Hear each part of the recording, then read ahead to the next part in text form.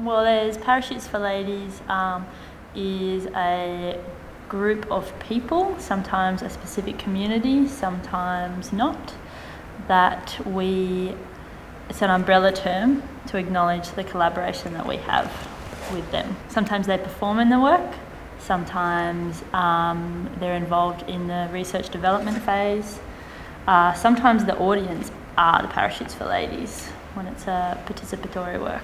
So one work that we're making for this exhibition is called Canon and it involves a collaboration with the GSOs and they will be wearing tap shoes on their shoes for the, um, the whole of the exhibition, so for the whole three months.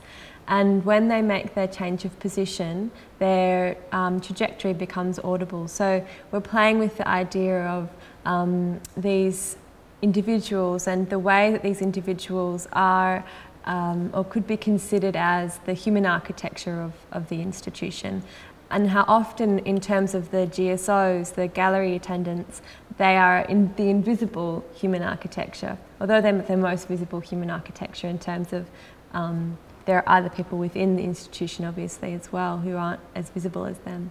Um, so we're interested in making their presence audible and in turn visible.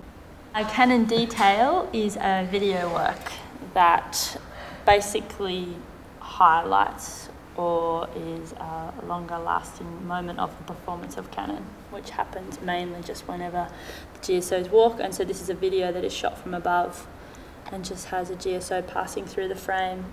You know, there's a, a kind of a large interest at the moment in showing performance in institutions and uh, how do you represent that? You know, how do you represent something that is has a particular um, temporality that is not matched to the temporality of an exhibition?